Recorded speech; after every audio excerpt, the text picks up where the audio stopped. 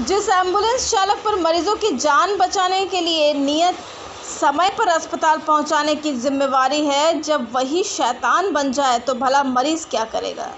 रविवार की देर रात एसएनएमएमसीएच के फीमेल मेडिसिन वार्ड में इलाजरत विक्षिप्त महिला, युवती के साथ दुष्कर्म होने का मामला प्रकाश में आया है। धनबाद का सबसे बड़े अस्पताल एसएनएमएमसीएच में फीमेल मेडिसिन वार्ड में इलाजरत अर्ध विक्षिप्त युवती को निजी एंबुलेंस चालक संजय दास और उसका एक सहयोगी चाय दुकानदार ने अपने हवस का शिकार बनाया।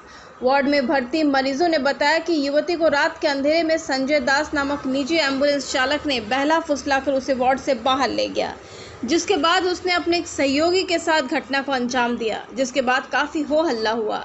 मामले की सूचना पाकर सरायडेला पुलिस अस्पताल पहुँची और घटना के बाबत छानबीन किया। इस बीच मौका पाकर आरोपी एंबुलेंस चालक संजय दास फरार हो गया, जबकि अस्पताल परिसर में ही चाय बेचने वाले एक दुकानदार को पुलिस ने हिरासत में ले लिया है।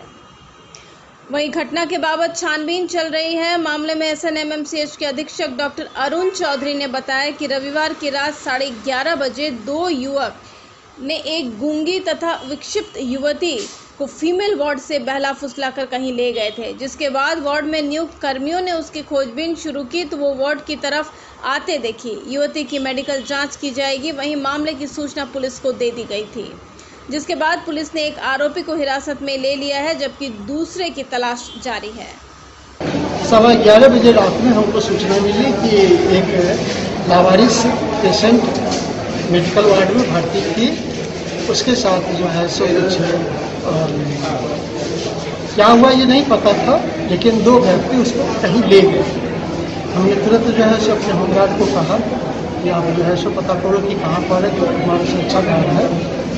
उसके द्वारा जो है सो देखा गया कि लड़की आ रही है, और उसके साथ एक लड़का भी था, उस लड़के को हिरासत में लिया आदमी पुलिस को उसको वो आसपास का ही कोई युवक था उसके साथ? अब ये तो हम नहीं जानते ये पुलिस का मामला है पुलिस उसको जाँच कर रहा है लेकिन पता चला कि एक संजय नाम करके एक एंबुलेंस चालक। चालक है वो और एक चाय बेचने वाला तो वो है। संजय तो भाग गया लेकिन चाय वाला जो है सो पकड़ा गया था और उसको हमारे होमगार्ड के जवानों से पकड़ करके थाना में डलवाया थैंक यू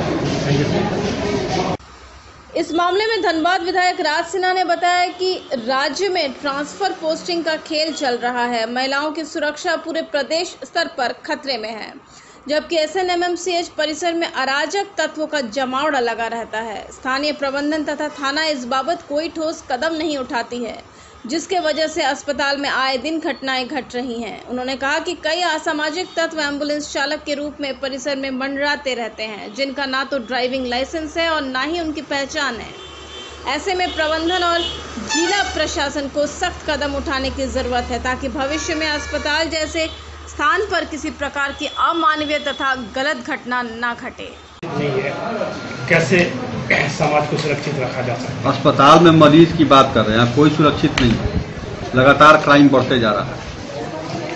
रोज रेप और महिलाओं के उत्पीड़न की घटना तो अभूत के घटनाओं में अभूतपूर्व वृद्धि हुई है।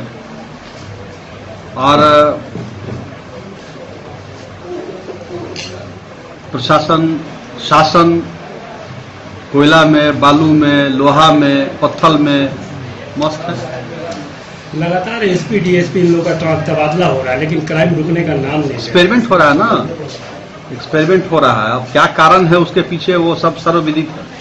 सब लोग सारी जनता समझ रही है कि इतने बड़े पैमाने पर जो बार बार एक महीना में दो दो एक साल में दो दो बार जो जो पदस्थापन हो रहा है तो ये एक्सपेरिमेंट क्यों किया जा रहा है? ये सब जनता जानती है। देर रात S N M M C H अस्पताल में एक अर्धविक्षिप्त युवती के साथ दुष्कर्म के मामला प्रकाश में आया।